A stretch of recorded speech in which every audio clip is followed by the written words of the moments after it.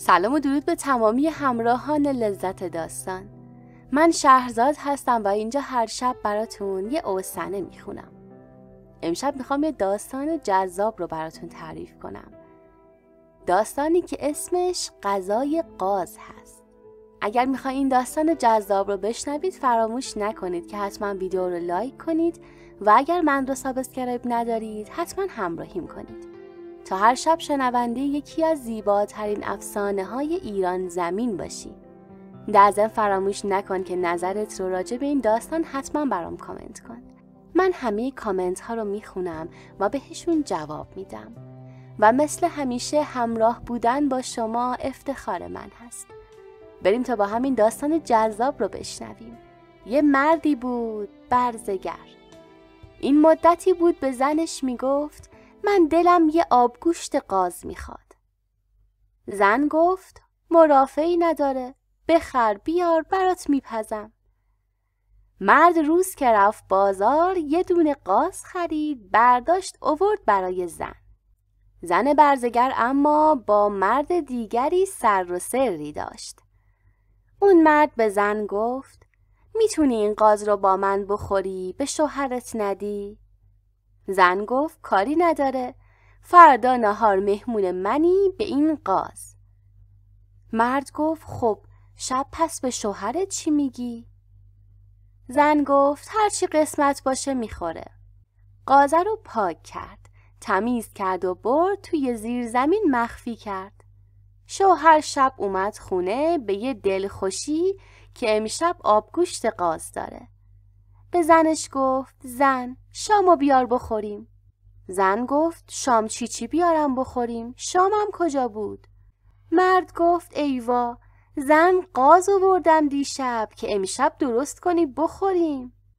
زن گفت هزار دفعه گفتم یه تخته بیار در این آشپزخونه بکوب نیاوردی.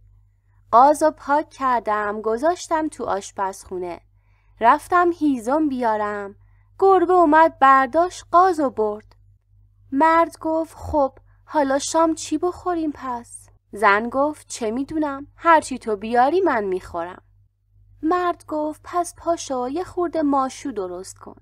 زن گفت باشه پاشو برو روغن و پیازشو بخر تا من درست کنم. مرد رفت روغن و پیاز خرید و اوورد زن پاشد ماشو درست کرد. شامشونو خوردن و فردا صبح شد. مرد پا شد رفت سر کارش. زن بیدار شد. قاز رو پخت و رفت عقب مرد فاسق. به مرد گفت پاشو بیا نهار بخور. مرد اومد تو خونه. زن قاز رو درسته گذاشت جلوش. گفت ببین درسته می‌ذارم جلوت که هیچ چیشو ندادم به اون. مرد فاسق گفت پس شام به اون بیچاره چی دادی خورد؟ زن گفت براش ماشو درست کردم. مرد گفت خب نگفت قاز کو؟ زن گفت چرا؟ انداختم گردن سولاخ در که گربه برد. مرد گفت والا عجب شوهر بیچاره ای که هیچی نگفت. عجب گربه ای که یه قاز و برداشت برد. نشستند و با هم خوردند. مرد فاسق گفت ببینم. اگه دومیشو اوورد ارزه داری بدی ما با هم بخوریم. زن گفت حالا ببین. اگه تا ده تا هم اوورد اگه گذاشتمون بخوره. مرد گفت ببینیم و تعریف کنیم. شب شوهر زن اومد خونه. یه قاز دیگه اوورد گفت زن مراقب باش اینو دیگه به گربه ندی. خیلی دلم یا آبگوشت قاز می‌خواد. زن فردا قاز و پاک کرد و تمیز کرد و بار کرد. رفیق فاسقش رو صدا کرد و نهار با هم خوردند. مرد فاسق گفت شب حالا با این بیچاره چه کارش می‌کنیم؟ زن گفت جوابشو دارم. کله و جیگر و سنگدونش مال اونه. باقیش نوش جون تو. شب شوهر زن اومد خونه. گفت زن شام بیار بخوریم. زن گفت من حالا پیش پیش بهت بگم. قاز نیست. قاز و من پاک کردم تمیز کردم سر حوز گذاشتم سر حوز رفتم کماجدون بیارم. لاشخور از هوا اومد قاز و بلند کرد برد. سنگدون و دل و جگرش هست. شوهر زن گفت اونم که دیگه نمیشه بار کرد. برم پنیر بگیرم بیام یه خورده آتیش درست کن اونو کبابش کنیم. رفت و پنیر گرفت و اوورد زنم اونو کباب کرد. امشب گذشت. فردا شب شوهر زن یه قاز دیگه خرید. زن قاز رو اوورد فردا باز بار کرد و رفیق فاسقش رو صدا کرد و اومدن خوردند. زن گفت این سه تا قاز من به تو دادم. حالا ارزه رو نشونت میدم. رفیق زن گفت بابا اگه جواب این سیومی رو بدی خیلی زرنگی. مرد شب اومد خونه گفت زن شامو بیار بخوریم. زن گفت شام چی داری که بیارم بخوریم؟ مرد گفت مگه قاز و بار نکردی؟ زن گفت قاز کجا بود؟ مرد گفت دیشب من اومدم قاز آوردم به خدا. زن گفت من که ندیدم. یا خیال کردی یا اووردی گربه برد. مرد پاشد رفت یه چیزی اوورد شام خورد و خوابید. فردا پاشد رفت باز سر کارش باز یه قاز خرید. شب اوورد خونه. زن باز هم قاز رو درست کرد برای نهار و رفیقش رو صدا کرد و با هم نشستن خوردند. شب مرد اومد خونه گفت شام بیار بخوریم. زن گفت شام چی بیارم؟ تو چرا شبا هی میای میگی شام بیار؟ گوش نیاورده کوفته می‌خوای؟ مرد گفت زن دیشب قاز آوردم. باز زن گفت به نظرم تو شب خواب می‌بینی میگی قاز آوردم. آخه این در و همساده کسی دست تو قاز دیده آوردی؟ مرد گفت خیلی خوب امشب بیشام میخوابم. شاید قاز و فردا شب بخورم. فردا صبح مرد نرفت سر کار. رفت بازار. یه دونه قاز خرید. دو سه تومن داد به این شاگرد موزیکچیا قاز و گذاشت توی طبق. موزیکچی هم انداخت جلو. این قاز و با موزیک اوورد تو خونه. رفیق زن به زن گفت این قاز خوردن داره. زن هم جواب داد بی تو اگه بخورم کوف بخورم. پاشد و قاز و پاکش کرد و بارش کرد. از غذا امشب شده بود شب جمعه. زن به شوهرش گفت این قاز و به این بزرگی رو ما نمی‌تونیم بخوریم زایه میشه. برو مسجد نماز. دست راست هر کی نشسته بود بردار بیار امشب از این شام بخوره. شوهر قبول کرد رفت رو به مسجد. از این ور زن به رفیقش گفت برو مسجد دست راست شوهرم بشین. این تو رو برداره بیاره خونه ما. این قاز رو با هم بخوریم. رفیق زن گفت بسیار خوب. رفیق زن وقتی وارد مسجد شد دید دست راست این جا نیست بشینه. نشست دست چپش. نماز که تموم شد یارو چسبید به اونی که دست راستش نشسته بود گفت آقا امشب بیا بریم با ما شام بخوریم. مرد دست چپی گفت سلامت باشید. منزل خودمونم شام هست. شوهر زن گفت خیر. ایال من اصرار کرده. امشب شب جمعه است. یه نفر رو بردار بیار با هم شام بخوریم. به اصرار زیاد مرد و برداشت با خودش اومد. زن نگاه کرد دید مرد غریبه ای رو آورده به شوهرش گفت خب حالا برو یه دو نونم بگیر بیار تا من شامو بکشم. شوهر رفت برای نون. زن هم رفت دسته هونگ و برداشت. یه تیکه هم دنبه برداشت و هی این رو چرب کرد. هی گفت ای بیچاره مهمون. مهمون گوش داد سرش آورد بیرون. دید زن هی چرب می‌کنه هی میگه ای بیچاره مهمون. گفت خانم تو رو خدا چی کار می‌کنی؟ هی میگی ای بیچاره مهمون. زن گفت این شوهر من شبای جمعه یه دونه قاز میاره بار می‌کنه. میره از تو مسجد یه دونه مهمون میاره.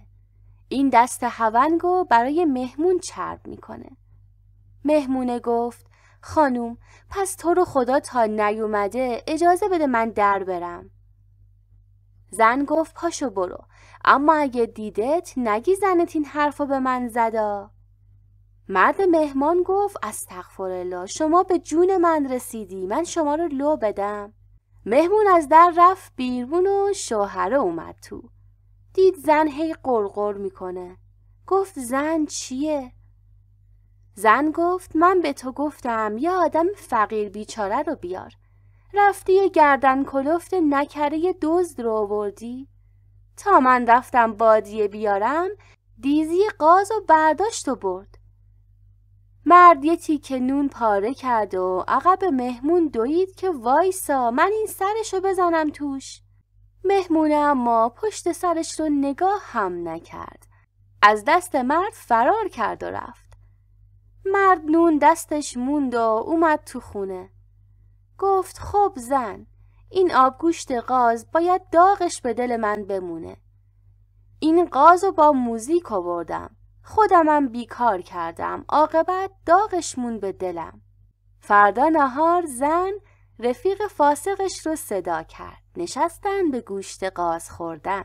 رفیق زن شونه زن رو بوسید و گفت الحق و انصاف این زرنگی تو نوشتن داره. خواهش دیگه ازت می‌کنم. اگه این دفعه قاضی آورد بده بهش بخوره. فردا مرد رفت بازار. خودش قاز و خرید نشست پاک کرد. زنش رو صدا کرد و گفت خودم اینو پاک کردم نذاشتم گربه ببره. نذاشتم کلاق ببره. دیزی رو بیار خودم بارش کنم. زن رفت و کماجدون و اوورد گفت دیزی رو که دیشب مهمونت با قاز برد. این قاز و مرد پخت. شب با زنش نشستن خوردن. مرد گفت الهی شکر که بعد از ده تا قاز یکیش نصیب من شد. داستان بعدی که می‌خوام براتون بخونم اسمش هست پسر دهاتی که به مقام پادشاهی رسید. یکی بود یکی نبود. یه چوپانی بود در یه دهاتی چوپانی می‌کرد. سرشم کچل بود. یه روز گذار حضرت موسی افتاد به اون دهات. چپونه دوید جلوش گرفت گفت یا حضرت موسی میری پیش خدا بگو یه فرجی در کار من بده. من با این چوپونی امرم نمیگذره. حضرت موسی رفت و اینو به خدا عرض کرد.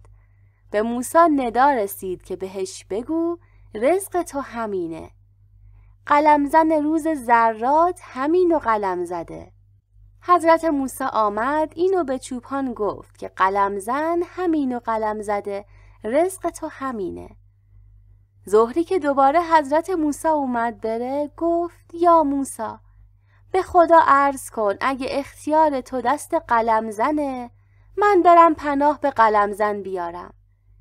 اگر اختیار قلم زن دست توه به قلم زن بگو سر قلم و کج کنه.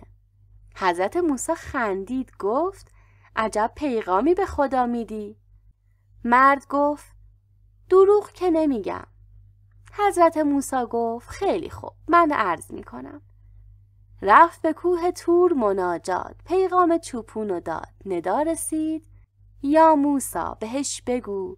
به قلم زن گفتم به اندازی نوک مژگان مورچه قلم و برگردونن.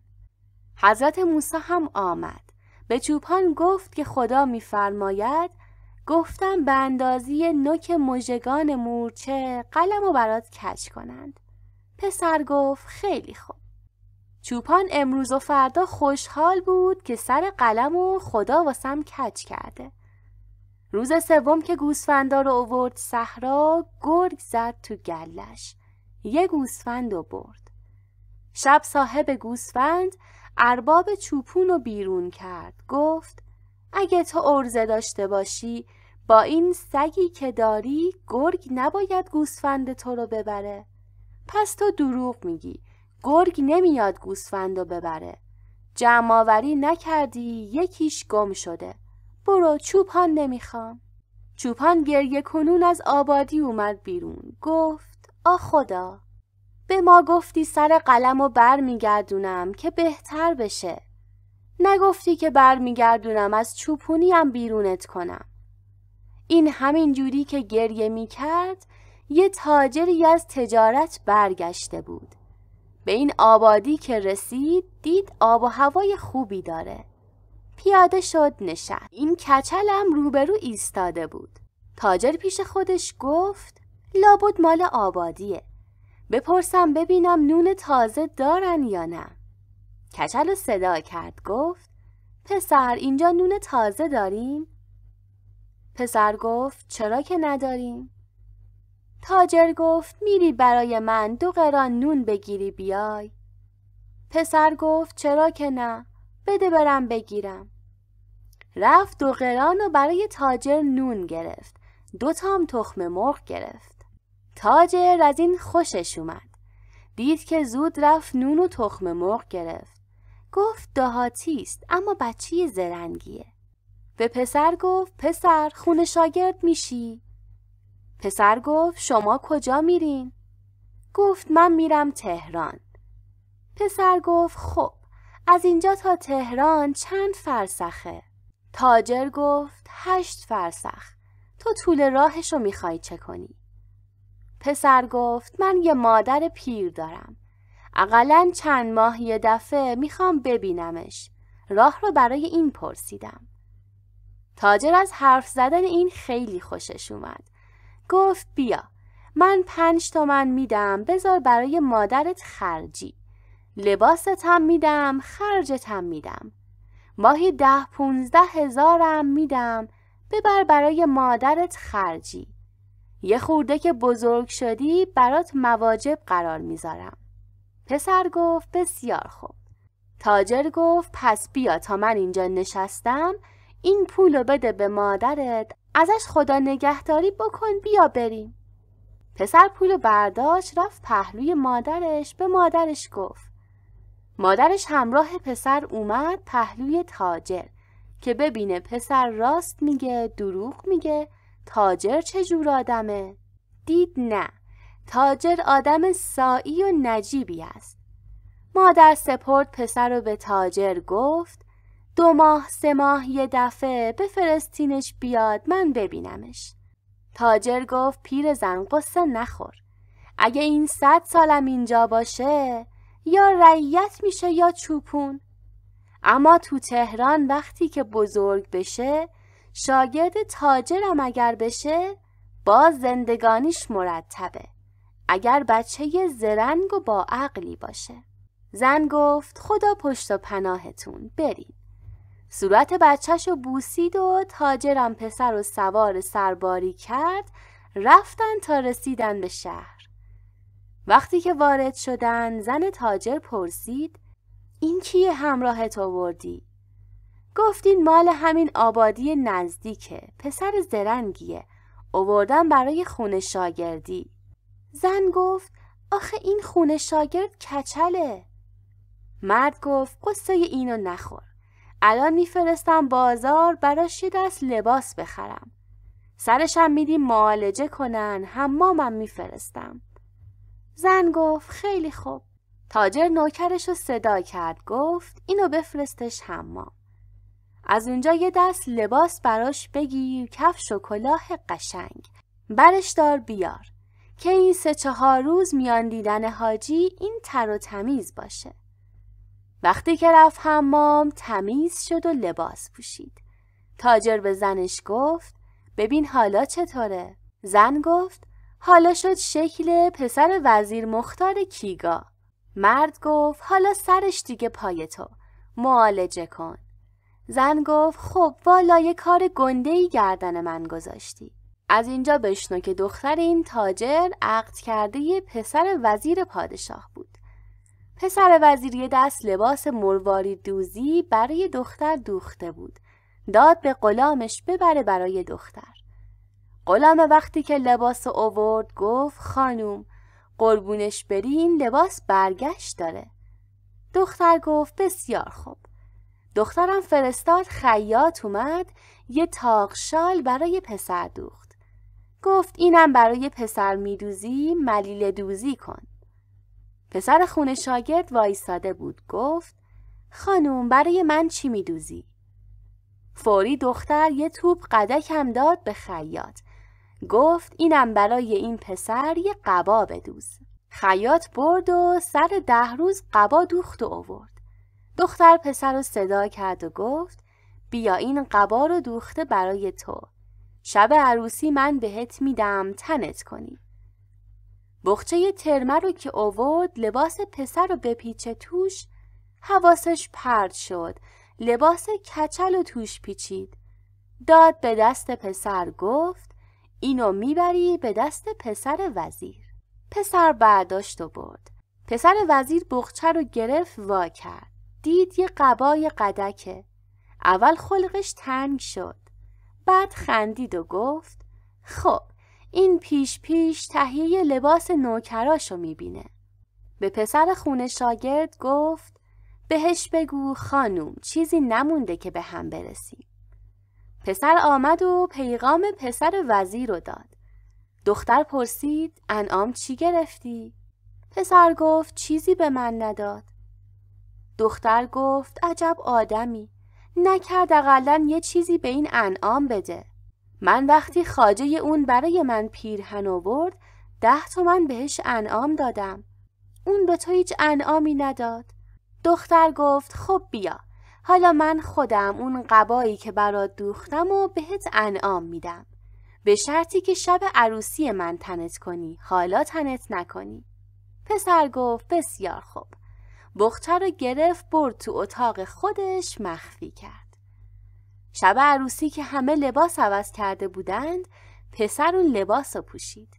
شاه رو در این عروسی وزیر دعوت کرده بودند شاه هم قبول کرده بود. خونه وزیرم پشت خونه شاه بود. آینه که جلوی عروس می‌گیرن نمی‌دونستن کی ببره. گفتن اجالتا بدین بین خونه شاگرد ببره. وقتی که این لباس و پسر تنش کرده بود شده بود مثل ماه. وقتی که اینا رسیدن جلوی شاه شاه نگاهی به این پسر کرد. خیلی طالبش شد. گفت حیف از این جوان نیست که آینه دستش بگیره ببره. دختر رو بده دست یکی دیگه خودش شب بره تنها بخوابه. امشب من این پسر رو داماد می‌کنم. شاه گفت داماد رو بگید بیاد. داماد اومد حضور شاه رو تعظیم کرد. شاه گفت من امشب باید این پسر رو داماد کنم. اگه میل داری طلاق بده. به جای این من دختر خودم و همین امشب عقد می‌کنم میدم به تو اینم عقد می‌کنم میدم به این پسر از اونجا که قلم اندازه مژگان مورچه کج شده بود دختره پادشاه همه اومده بودن پیغام دادن چرا پسر میدی به یکی دیگه؟ شاه فوری دستگیرش شد که دختر خودش از این پسر خونه شاگرد بدش نیومده. فوری گفت قاضی رو بیارین عروسم ببرین تو اندرون. مشاتگان دختر خودشو بزک کردن.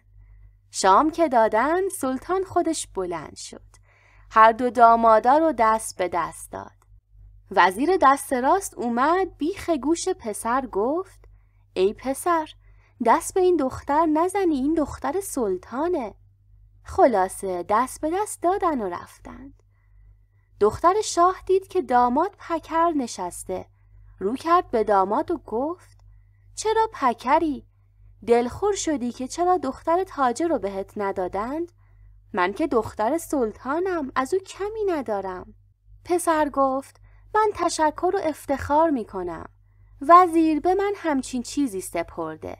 دختر گفت اون وزیر فکر می‌کنه که پادشاه دیشب از روی سرخوشی این دستور رو داده. میترسه فردا صبح پادشاه نظرش عوض بشه. من که دختر سلطانم تو رو خواستم. پس تو هم نگذار من بمونم. پسر گفت بسیار خوب کام از دختر گرفت. صبح وزیر دست راست به وزرا سپرد که به شاه بگین این چه کاری بود کردید؟ کسی مثل سلطان دخترشو میده به کسی که اصلا پدر و مادرشو نشناسه؟ تمام وزرا اومدند. صبح به سلطان این عرضو کردند. شاه جواب داد که آیا این آدم هست یا نه؟ گفتن بله. گفت پس آدم اینو زاییده گیرم فقیره. دیشب توی این همه جمعیت از تمامشون خوشگلتر و خوشلباستر بود. اگر میل دختر این نبود من به زور نمی کردم این کار رو. وزیر گفت بسیار خوب. ما حالا شرط می کنیم اگر دختر دست داده بعد معلوم میشه که میل داشته. اگر دست نداده بود معلوم میشه که اجباره. شاه یه فکری کرد و گفت بد نمیگید. داماد رو خواست. شاه به تغییر گفت پسر کفایت نداشتی که قلعه رو بگیری؟ پس فسخ کن. پسرم فوری در جواب گفت قبله عالم به سلامت باشه. من قلعه رو گرفتم. اطلاع نداشتم این که بخشش شب سلطانه صبح برگشت داره. شاه برگشت به وزراش گفت دیدید اجبار نبوده؟ وزیر آمد بیرون گفت به پسر من به تو گفتم دست نزن تو چرا دست زدی؟